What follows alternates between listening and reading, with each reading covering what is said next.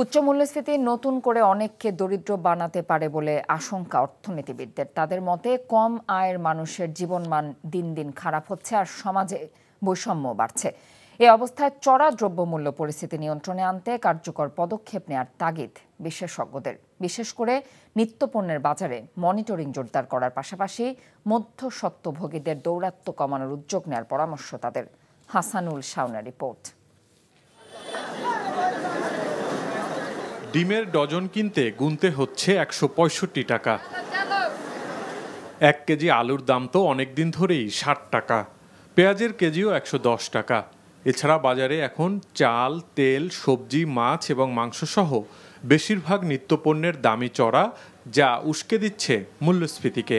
সামগ্রিকভাবে এর প্রভাব পড়ছে মধ্যবিত্ত ও নিম্নবিত্তের জীবনে। নিম্নবিত্ত যারা তারা একটু সমস্যার মধ্যে পড়তেছে। প্রতিদিন সব কিছুর দামই বাড়তেছে। এখন তো টাকা পয়সার অভাব। বাজারের যেই অবস্থা নিয়ে গেলাম আড়াইশো গ্রাম। যে টাকা ইনকাম তার থেকে হচ্ছে গিয়া জিনিসপত্রের দাম তো দ্রব্যমূল্যের দাম তো কন্টিনিউসলি বাড়তেছে এটা তো আর কমতেছে না।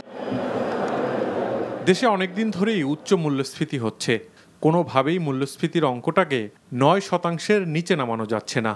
মূল্যস্ফীতির কষাঘাতে সমাজে দারিদ্র আর বৈষম্য বাড়তে পারে বলে আশঙ্কা অর্থনীতিবিদদের।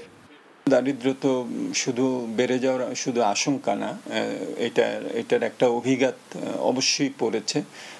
আমাদের দারিদ্র সীমার উপরে যারা ছিলেন, তারা হঠাৎ করে আবার নিচে নেমে আসেন।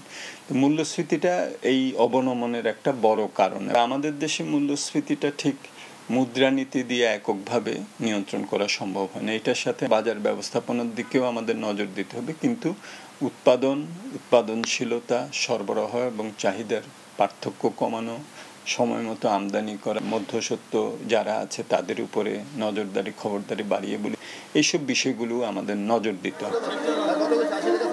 নিত্যপণ্যের বাজারে সিন্ডিকেট বা মধ্যস্বত্বভোগীদের দৌরাত্বের অভিযোগ দীর্ঘদিনের। এছাড়া সড়ক এবং বাজারগুলোতে আছে চাঁদাবাজি। দ্রব্যমূল্যকে উস্কে দেয়া এসব বিষয় কমিয়ে আনার পাশাপাশি সঠিক বাজার ব্যবস্থাপনা নিশ্চিতে কার্যকর উদ্যোগ নেয়ার তাগিদ বিশেষজ্ঞদের। এই চাঁদাবাজির কারণে কিন্তু বিশেষ করে লোকাল সাপ্লাই চেইনে বিজনেস বিজনেস পিপলদেরকে কিন্তু প্রচুর খরচ করতে হয় এবং তার ফল কিন্তু আলটিমেটলি বিয়ার করতে হয় সাধারণ মানুষকে। বাজারে সাপ্লাই চেইনের কথা আমরা বলি, বিশেষ করে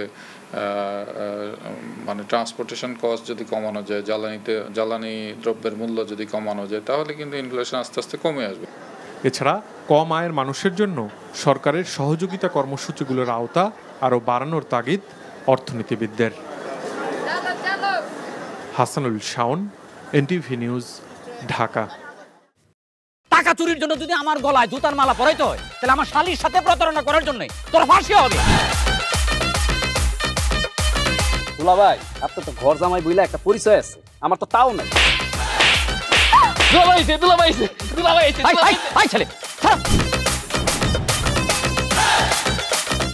রাজনৈতিক ফ্যামিলির মেয়ে হয়ে ওই কাজ করবে। যারে পাবো পিটাবো রক্তের নেশায় ধরছে রক্তের নেশায় কাঁচা রক্তের নেশায় ধরছে। তোমার এই পলিটিক্স আমার বাম পকেটে থাকে। পাঁচদের বউরে ঝামেলা পাকাই এই আমি তখন বিয়াই করিনি। দুইটার আমি গুলি করে মারু। মাসুদরা কোনোদিন ভালো হয় না। আপনার পোশাক আশাক দেখে কিন্তু আপনার তালুকদার বংশের লোক মনে হয় না আব্বা। আপনার মনে হয় যে আপনি ফকির বংশের লোক।